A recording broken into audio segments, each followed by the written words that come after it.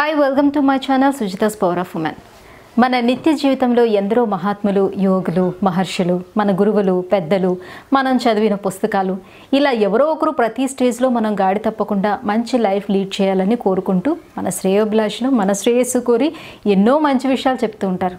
కొంతమంది ఆ క్షణం వంట పట్టించుకున్న ఆ తర్వాత మళ్ళీ సదా మామూలు అన్నట్టు ఉంటారు. ఇంకొంతమందికి ఏం చెప్పినా చెవిటోడు ముందు శంఖం ఊదినట్లే ఉంటుంది.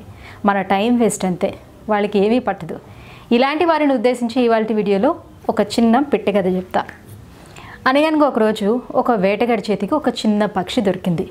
అతడు దాన్ని చంపపోతుంటే ఆ పక్షి అతనితో ఇలా అంటుంది. అయ్యా నీవు ఎన్నో పెద్ద పెద్ద మృగాలను జంతువులను వేటాడి ఉంటావు.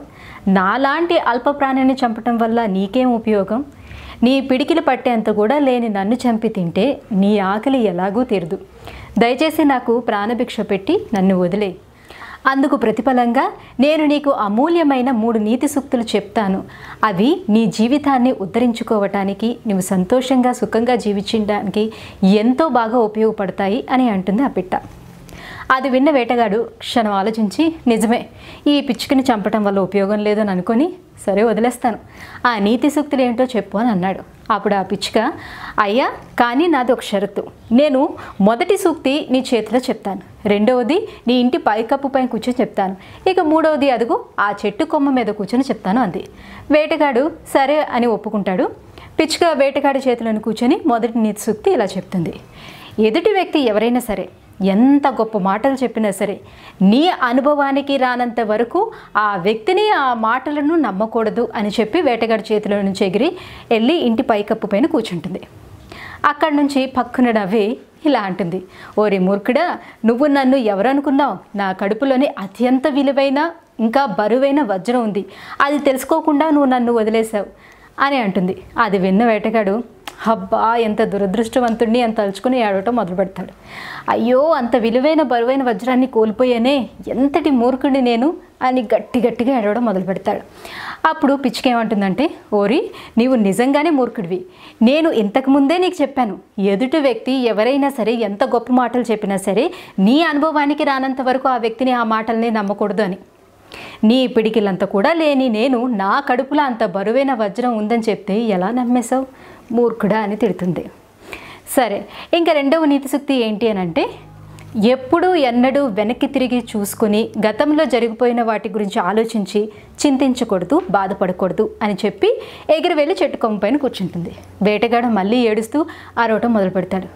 లేదు లేదు నేను నిన్ను వదిలేసి వజ్రాన్ని పోగొట్టుకున్నాను నువ్వు నన్ను మోసం చేసావు అని బిగ్గరగా ఏడుస్తాడు.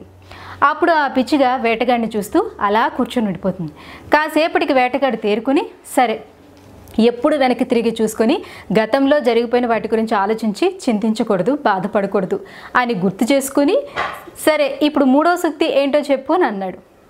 అప్పుడు పిచ్చుక నేను చెప్పిన మొదటి రెండు సూక్తులు నీ బుర్రకెక్కలేదు. నేను ఏది చేయొద్దు అన్నానో అదే చేసావు ఇక మూడోది చెప్పడం వల్ల అసలు ప్రయోజనమే లేదు. నీ మాటలు వినని వారిపై ఎన్నడూ సమయాన్ని వృధా చేసుకోవద్దు. అని అక్కడి నుంచి ఎగిరిపోతుందనమాట అందుకే పెద్దలు అనుభవజ్ఞులైన వారు చెప్పినప్పుడు వినాలి ఆచరించడానికి ప్రయత్నించాలి. అంతేకాని అంతా అయిపోయిన తర్వాత అయ్యో నేను అప్పుడు వాళ్ళు చెప్పినట్లు వినుంటే బాగుండేది అని అనుకుని ప్రయోజనం ఏముంటుంది?